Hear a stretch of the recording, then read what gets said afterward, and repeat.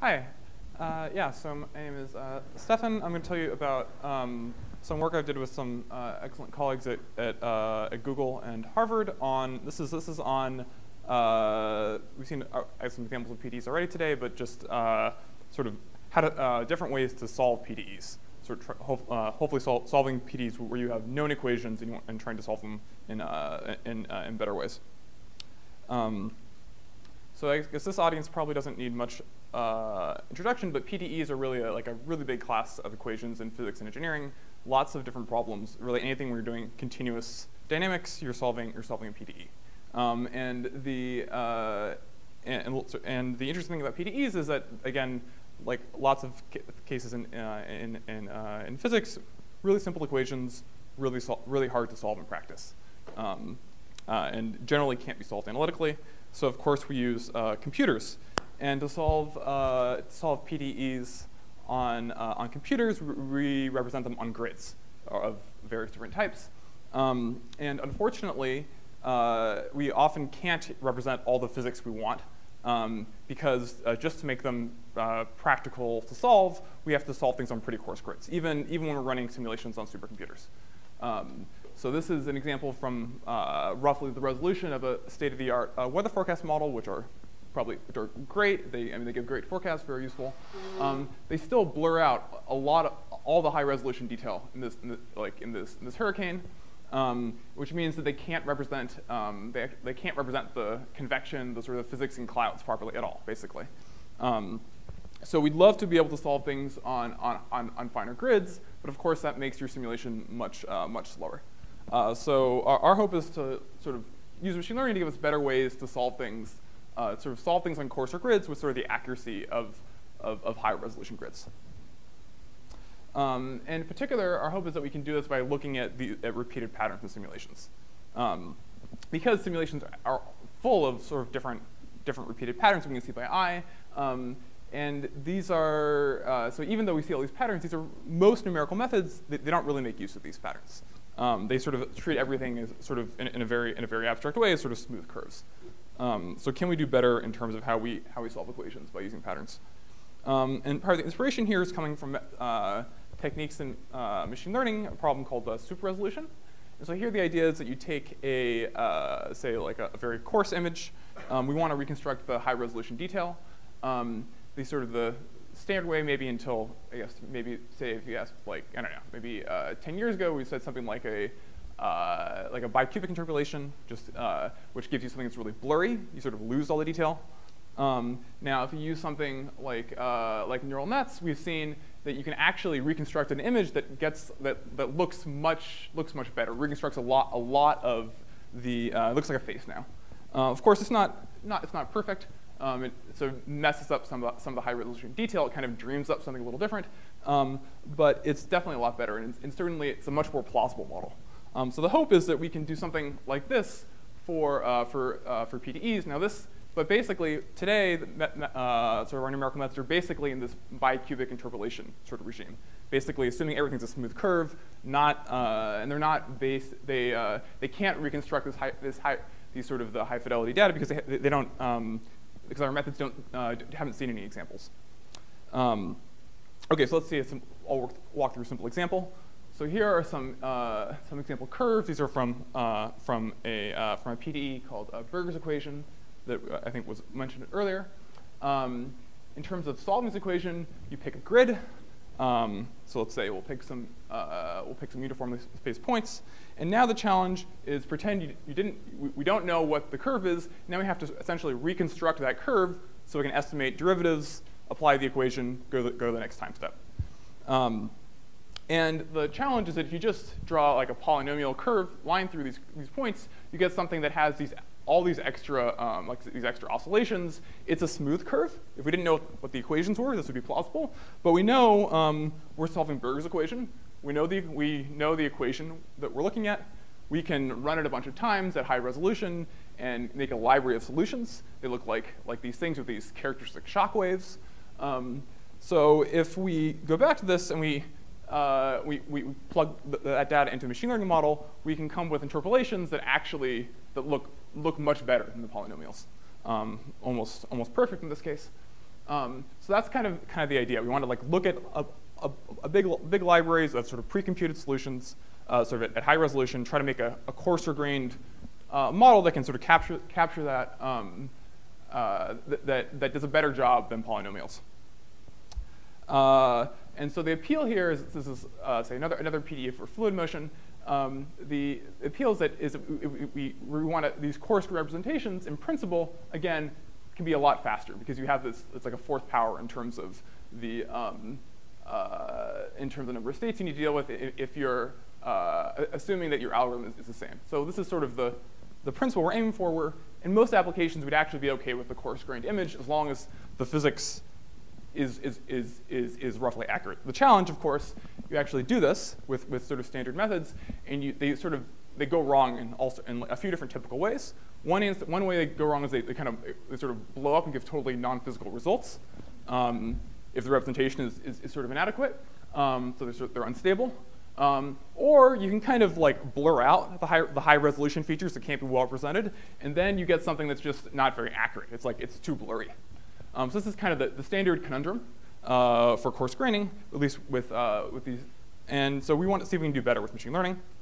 Um, and the way we want to do that is plugging into estimating these spatial derivatives. This is kind of the key approximation for solving PDEs, lots of different numerical methods in terms of, say, like say low order methods, different higher, higher order methods. Um, the, the, they're all about uh, how do you approximate the spatial derivatives. So this is the part we want to, we want to approximate. We want to keep the physics we already know, but plug in machine learning. Um, and sort of the way we're going to do that is with, with deep learning. And that's because deep learning is sort of a, is, is uh, part of sort of broader class that uh, of uh, a sort of program te a technique people call sort of refer to as like differentiable programming. People are really excited about machine learning these days. The idea that you can write your computer program in a differentiable way, so you can optimize this sort of much broader space of computer programs based uh, to data instead of just the few algorithms you pick up by hand. Um, so we're going to, and this is, and we can train this in sort of generic way with deep learning frameworks um, uh, to sort of make tunable programs. So now we're gonna, so, and this gives us sort of the best of both worlds from sort of the machine learning side and the physics side. So we can use, it's not like deep learning is inherently better than decision trees, but it's, it's something that you can plug into these, uh, that you can use in a very generic way. Um, and we can do things like, we can easily put in things like constraints uh, by, by building in, uh, building on top of standard uh, numerical methods, uh, things like, uh, like conservation laws, for example. Like this is a, a, continuity equation. So we can, we can build that in using use a finite volume technique. Um, so our, our, algorithms are going to look a lot, very, basically exactly like uh, sort of the standard numerical methods for solving these sorts of equations, except we're going to plug in, uh, we're going to plug in a few, we're going to turn some of those components into learned components. So we're going to optimize some of the parameters in, these, in, in the existing algorithms, again, using, say, very, very small neural nets, just a few layers. Um, and we're going to put, and we're going to train these by comparing to sort of highly, uh, to sort of fully resolved simulations on a very, very small grid. Um, and we're going to put loss on, on the sort of on the discrepancy of the solution after, uh, after, after uh, one or a handful of time steps. So that's the, that's the, the general idea. I'll show you an example. See if this works. Okay. Uh, well, hopefully the movie works. If it doesn't work, then we'll, oh, there we go. Um, okay, so this is an example solving Burger's equation. You get these, these shock waves that move back and forth. Um, and the, the green dots are our neural net. The orange dots are a baseline here, which gives basically is completely uh, giving completely garbage. Just um, uh, so this is just one example of doing this. We can do this, look at this more systematically, and we see that we can, with our neural net methods, we can get accurate results on much on much coarser grids. Here it's about, I mean, roughly comparable accuracy to these low order polynomial methods at about, about eight times coarser grids. Um, and uh, so we, do, we can do better than the sort of the simple, uh, like the, the, simple methods based on polynomials. We can also do better than uh, some really sophisticated methods. Here, WENO is a technique that was specifically devised for capturing shock waves. Um, and it has a lot of heuristics that are built into it to capture, to represent shock waves well. And we actually, we actually do better than that technique. Um, and the other interesting thing is that we don't necessarily need to go all the way to the neural net. We can also do much simpler models, like just learning, say, just learning like the co uh, constant term. So these are learning linear coefficients. In this case, that'd be about like about 10 parameters. Um, and so we, so we sort of learn like have an optimal uh, an optimal set of finite difference coefficients, we can also, um, uh, we can do almost as well as, say, as these WENO techniques um, at actually sort of significantly less uh, computational expense. Um, just, again, just based on optimizing uh, our methods to the data. Um, okay, so the, the, the, the, hope is that we, you can take these techniques, you, you run a, some high fidelity simulations um, on a very small grid, and then we're going, and then we're going to want to extrapolate to much bigger problems. Um, uh, so where, where it's very expensive to collect, to, uh, collect that training data. Um, so this is like just one really simple example. We tried, we, so we've, we tried sort of extrapolating to sort of uh, uh to larger problems with our uh, with Burger's equation, where we trained on a on a very small grid. We run inference on a, on a much larger grid that's that has that has a, a pretty uh, similar set of boundary conditions. Um, and and again, our models give give pretty reasonable results. I don't haven't shown the the ground truth here, but it's it's very close. If you look at our paper for the uh, to see the comparison, um, it, it, basically works. Um, and the other interesting thing we can do with this is that we can uh, is that uh, because we built in the structure of the standard numerical methods, we can look at the predictions of the of the neural net. and We can interpret them. So we can look at these at these say these learned finite difference coefficients, and you can see things like the coefficients tend to be pointed sort of preferentially in a certain direction, which is anti-correlated with the, uh, with the, the, the, uh, the, velocity field here. Um, and this anti-correlation basically means that the model is learning to look in the, the upwind direction, which is a, uh, a very, uh, a very common uh, trick used in um, numerical methods for, for solving fluid dynamics. Um, so it sort of rediscovered some sort of physical knowledge. So we did this across uh, sort of a suite of different uh, 1D PDEs that are different, different toy versions of fluid, fluid dynamics. Um, so the, the Burger's equation the shocks, uh, the Korteweg uh, de Vries has uh, solitons, Kuramoto-Sivashinsky has these um, has, is, has sort of chaotic dynamics like like um, like uh, like a flame. Um, and again, across these sort of suite of equations, we see the neural net is sort of consistently letting us get sort of uh, comparable accuracy at uh, at uh, significant, uh, significantly coarser grids. Um, okay, so we're starting, we've been starting to, to, try to try to scale this up towards sort of more interesting problems, like uh, in sort of higher dimensions. So uh, we have some sort of early results with, again, solving uh, like advection equations. Um, and here we see, uh, we're, we're appear to be doing significantly better.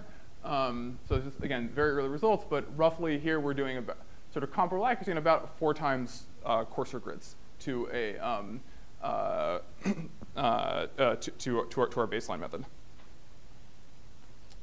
Okay, so uh, in, uh, in, in, sort of in summary, um, we used machine learning to build PDE solvers that are better, at least in, in some ways. Um, so there's not, it's not entirely practical yet, right? But um, it's, it's, it's getting there. Um, so the, the, sort of the key ingredients are, so we have these, we, we, we, incorporate these physical constraints, and that, lets, that gives us some aspect of both uh, sort of interpretability and, uh, and generalization. We can get, we guarantee things like, like, uh, like conservation of mass exactly. Um, we can beat some of these sort of hand-tuned methods that have been optimized over, I guess, by, by people over many, you know, over, over decades. Um, they're not necessarily a lot uh, faster yet, and that's because neural nets are pretty expensive um, to run compared to a lot of sort of standard discretization methods. Um, but uh, there's sort of reason to think that it's, especially when you scale up to say like high performance computing, that like it's, it's advantageous to do more compute and sort of less, less communication. Um, so we think that it's, it actually will, uh, in that regard, it'll actually, um, it, it, it, may actually be pretty practical. Um, all right, and uh, this is one, okay, my one toy example of generalization here. We didn't, we didn't train on the Google logo, um, but it still swirls uh, uh, pretty well. Um, all right, uh, and with that, uh, thanks for your uh, attention.